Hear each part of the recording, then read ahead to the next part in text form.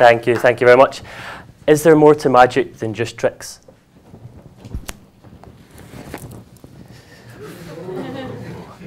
that moment just there, that moment of, oh, wow, I had that moment of excitement, that wonder. I had that moment when I was 10 years old and I was standing in Hamley's toy shop in London. I was this high and I saw a guy demonstrating a simple magic trick. And I, I too, I had that, that moment of just, wow, that was incredible. How do you do that? So I spent all my pocket money that week on this little trick.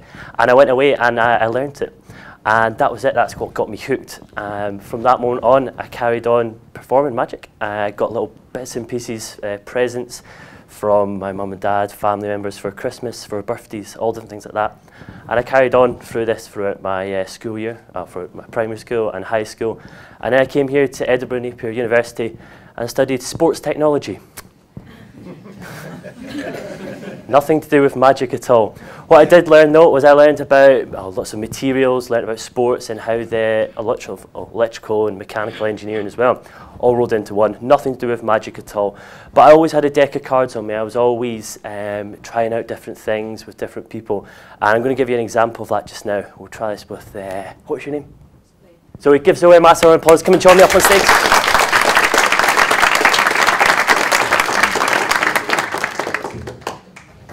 Brilliant. Zoe, have you done any magic before? No. No, good. Wrong Zoe. uh, no, we're going to try something with a deck of cards, okay? Let's take them out. And Zoe, what I need you to do, I want you to reach in, I want you to take out any card you want. Don't let me see it though, it's up to you. Anyone you want. Fantastic. Have a look at it. And can I get you to sign your name on it for me as well, nice and big all over the face of the card in front of it. And then once you've done that, if you show the audience for me. Perfect. I'll look away.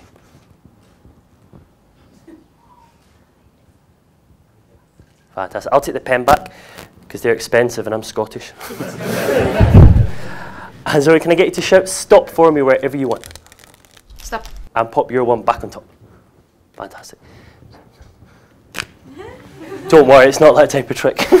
so what I'm going to attempt to do, I'm going to try and get your card to go from the middle of the deck to the top without anyone noticing. Watch closely, here we go. Did you see it happen? Yeah. No. no, no. Good, because it's not happened yet. so can you tap the top for me? That's when it happens just there. You ready? Mm -hmm. The six of hearts. I'm not saying it's your card, I'm just saying it's the six of hearts. Very good, I know. Can I borrow your hand a second, please?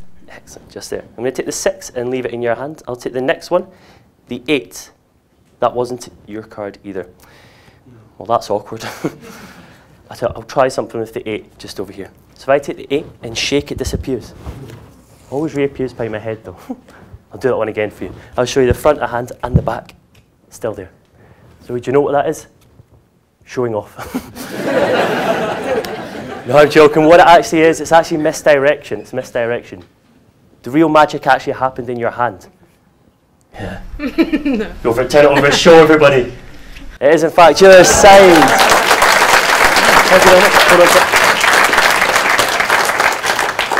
on This is just a warm up, it gets better. so we pop it back on top for me. Signed on the top, your king of clubs. I'm going to take about half the cards, and your king goes from the top, Zoe, into the middle. Keep your eye on it, it's going to jump to the top again. Can you push it into the middle? If you push it in, that's it. Oh no. No? Ho ho ho ho ho ho ho ho ho the big finale for you, so I'm going to leave it on the top of the deck of cards. Can you put your hand on top for me? And your other hand underneath. Excellent. Now this part of the trick, it comes with a warning. Probably going to remember this moment for the rest of your life. Are you okay with that? Yeah. Yeah? yeah? Are you sure? Yeah. Yeah? Here we go. Three. Are you positive? Three, two, one. Did you feel that happen? Mm -hmm. Yeah? if you take your hands away from me, please and you can see that every single card actually disappears apart from your signed King of Clubs, which you can keep as a souvenir. Oh, thank you so thank much. You Give back round applause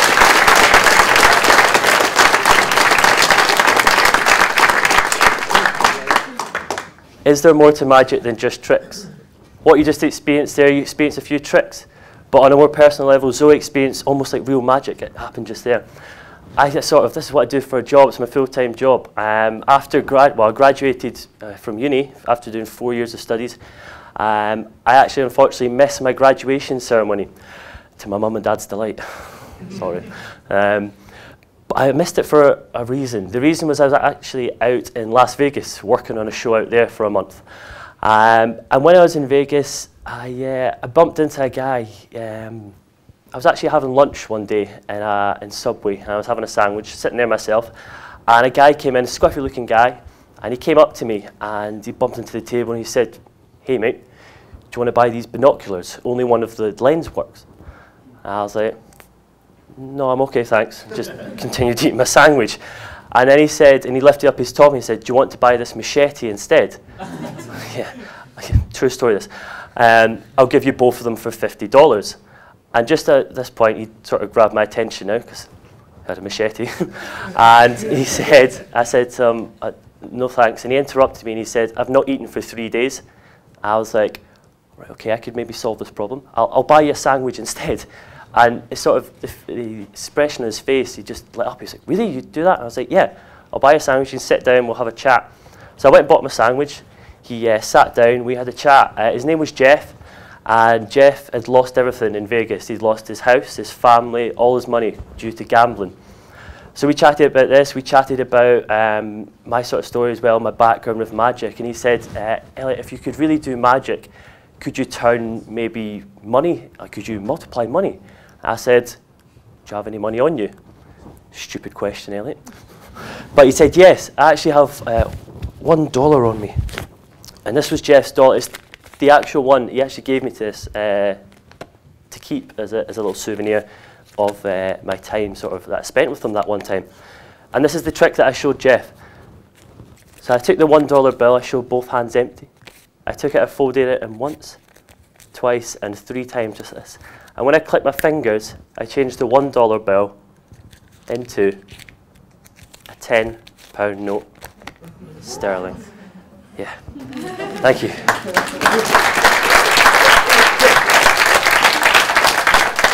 Now that was no use to Jeff. I didn't think he was going to go travelling much. Um, so what I did do is I, I showed both hands empty. I folded it once, twice, three times. I clicked my fingers, and that's when it happened. It changed back into Jeff's one dollar bill, just like that. Thank you very much.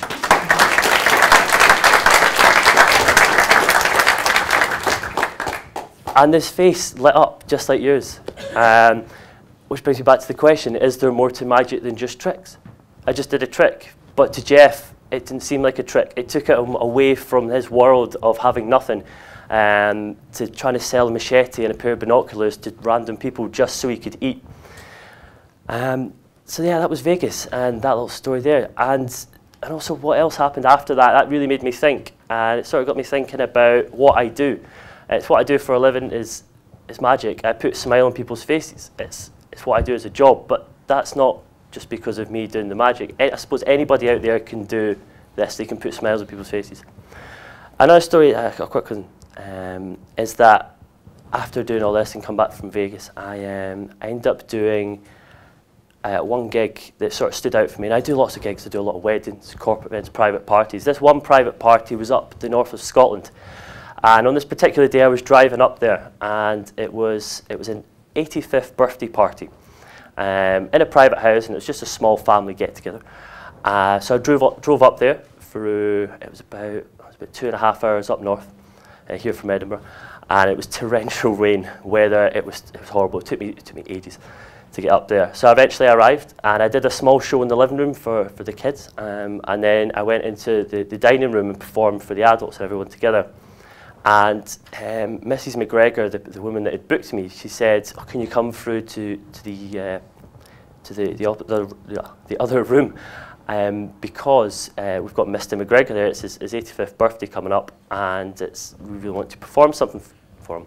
So I went into the room, and yeah, I went in there, and he was in bed. He wasn't very well. And I performed some magic tricks, and his face lit up again, just like your face is lit up when I performed that little trick. And is, I then left uh, the party And usually a couple of weeks later, I send the, all my clients a little email going, did you enjoy the magic? Did you get a nice review and stuff like that? And I didn't hear anything back. I thought, that's strange. And then I had a, an email actually about two months later. And I've actually got it with me today. So I'm going to read it to you. And it was from Mrs. McGregor. And it says, Dear Elliot, firstly, thank you so much for battling the weather and making up to perform at our little soiree. The children and adults alike loved your little show. I think you have a few new fans. My husband had not been very well, and the party was actually two weeks before his 85th birthday. We had moved the party forward because of this. Unfortunately, he never made it to this age and sadly passed away peacefully on the Tuesday evening. I'd just like to say thank you very much for the last memories we have of him. The smile on his face when he did those tricks, we will never forget. Thanks again, Elliot, and all the best with your career. Mrs. McGregor. Is there more to magic than just tricks? For the McGregor family, yeah. That was the last time they saw Mr. McGregor smile and be happy before he passed away. They'll always sort of cherish those memories. For me, other people looking in, they might think it's a few card tricks, it's turning money around. For me, it's not. It's, it's creating those memories, it's leaving a lasting impression with people. And as I said before, you can go out and do this. So as I say, I do the magic, I take people away from their daily struggle. It might be that you've had a, a tough week, uh, it might be that you've, I don't know, you've lost someone recently. It might be that you've, I don't know, you've just fell, fell over, tripped over yourself coming here today. Um, but the main thing is you've got to stay happy, stay focused, and you can all do this in your, your daily life. So even if you're walking down the street, smile at people. it's, a, it's a strange thing to do, but I do it all the time. If you're on the train or the tube and you're sitting next to someone, just have a conversation with them. You might make their day. So is there more to magic than just tricks? I personally think there is. Thank you very much.